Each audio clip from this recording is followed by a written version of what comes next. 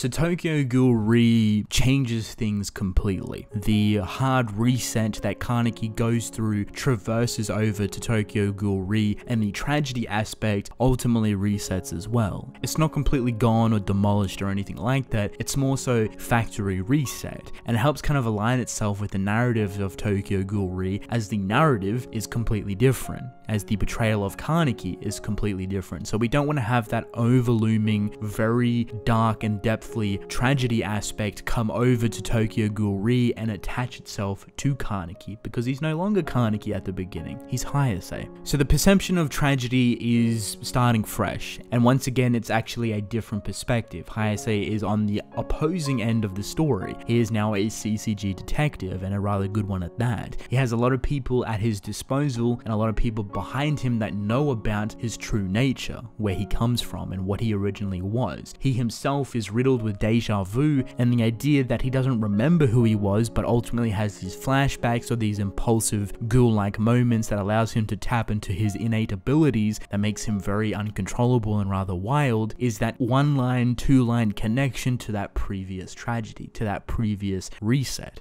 This is vitally important. Portrayal of Haise, the betrayal of the story being a lot more clean and cut because of the CCG actually balances out rather well. You can look at both sides of the story as like the first part of Tokyo Ghoul being black and Tokyo Ghoul Re being white. One is the ghoul side of the story and the other side is the CCG and that is kind of the overarching reality for it. Kaneki was a human that became a ghoul and now has become a CCG detective with some of the most powerful people people that he used to fight. But if anything were to be kind of real and just, it's definitely not the CCG, as once again, the kind of portrayal of things being in the story not being what they seem is completely well and truly still there. The CCG is deceptive as ever, and they're not entirely made up on good intentions, nor the people that they suspected to be. The Washu family being a very long lasted bloodline of pure blooded ghouls trying to manipulate and create very powerful detectives and very powerful ghouls. Also working with the V organization, which is a ghoul centered and orientated organization that helps them with a lot of different things. There is a much darker ploy and a much darker backstory and history with the CCG than it actually lets on to be. And more so, the forefront of the CCG, which is Haise and kind of everyone surrounding him, does not know about this until it's kind of rooted up into the story and then everything cracks and crumbles and that tragedy is there waiting to appear again.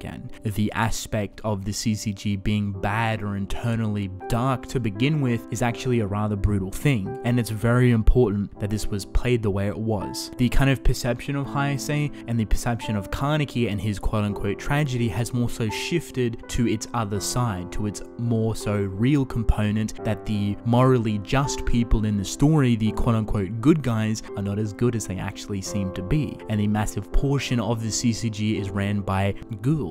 The irony in the CCG is completely prevalent, and the depiction and slaughter of ghouls slowly starts to turn into a genocide. When Furuta takes out everything kind of in play and kind of asserts himself as the new leading chairman for the CCG, he runs everything the way he wants to, starting to completely destroy and disrupt absolutely everything, pushing forward a brand new agenda, which is kind of what the Washu family were doing in the background. Kaneki throughout this time relays back into his original self and actually takes quite a bit. He doesn't necessarily go back to what he was prior to being reset in Tokyo Ghoul. If anything, his tragedy and his experience being reset and then starting and his experience in the beginning of Tokyo Ghoul Re plays a vital role to the character that he ultimately becomes after he remembers everything, after the Arima and Kaneki fight goes down, and after Kaneki becomes the One-Eyed King. The perception of Kaneki then is completely different. No longer do we view Kaneki as a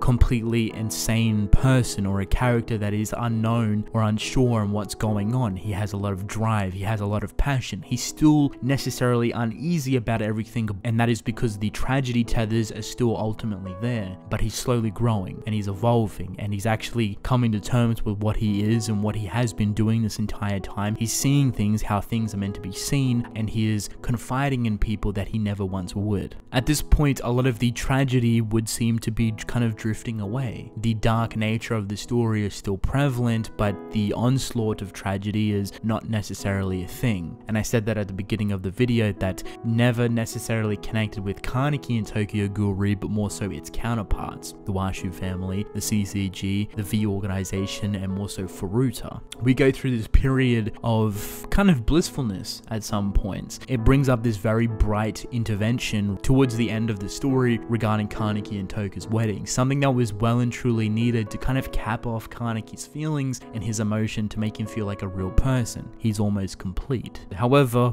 with the bright moments, there is also a very deep, dark spiral, and it's elevated tenfold because of that bright moment. And that is the final arc of the story. That is Dragon. Everything that was tragedy or dark, manipulative, that was on the CCG's perspective, that was on the other side, comes flying back to Kaneki. And this is where we start to change the story, and this is where Sui Ishida kind of reconfirms that this story is not going to end the same way as it once was stated out to be. A lot of the events that happen in the Dragon arc are very important. They actually bring Kaneki full circle, and without these events kind of in play, ultimately Kaneki could have met his demise. And fun fact, he was originally meant to. Sui Ishida wanted to obliterate absolutely everything and end on the most tragic note that you could ultimately think of. With a lot of characters dying, a lot of very dark and torturous events, and Kaneki ultimately dying at the end also. Devastation is what Sui Ishida called it. A train wreck. However, he did not take that approach. Instead, some of the things that were pivotal to Kaneki's progression to either the deep dark abyss of death or the bright and fruitful future that we actually got is changed. It's morphed a little bit and the importance of them is kind of undermined a little bit. However, they're still rather important and they still kind of linger to this day on what those endings actually were. A good pillar is Furuta and Kaneki's fight. Very pivotal, very full circle as it kind of closes closes off the story with Furuta and how he is kind of the big bad villain this entire time, but he wraps in human nature. Furuta is not as bad as one seemingly was, and the tragedy that overloomed the story slowly starts to clear up. You start to feel for Furuta a little bit. Everything that he went through was because he was forced down this route. He couldn't change or deviate from his path or he would be killed, so he kind of just bided his time and wanted to do things his way so he could personally get what he wanted